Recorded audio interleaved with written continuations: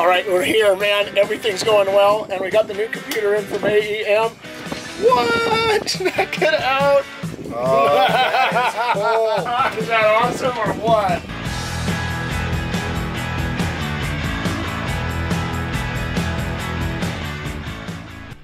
This is Steve Huff, and right now he's trying to make history. He's trying to become the first racer to go 200 miles per hour in an electric car. He's fully equipped with the brand new AEM 8-channel power distribution unit, which is receiving its commands directly from the vehicle control unit.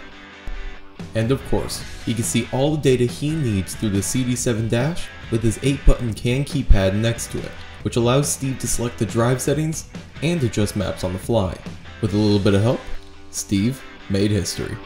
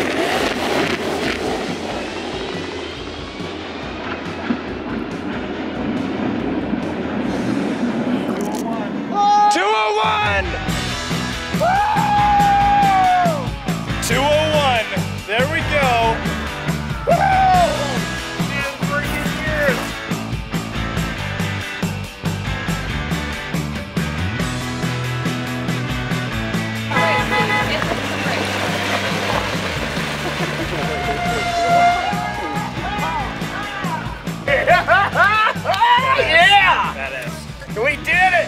Good job,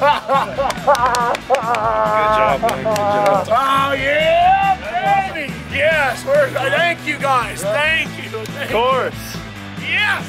That's got some horsepower. But that's the second pass, man. That was just the second pass. That's the second pass today. That's That was a second full pass today. Uh, Unbelievable. once that clutch is finished, brother, this thing is going to haul the mail. AEM, man, thank you. I, I, none of it was possible without AEM. You came up with this. You you did it two, passes. Yeah, baby. This shit's ready for market. There's still more it. in there. There's still There's more. more. I know. We've got more. I know. I know. I know. Look at the thing. It's just perfect. Everything's perfect.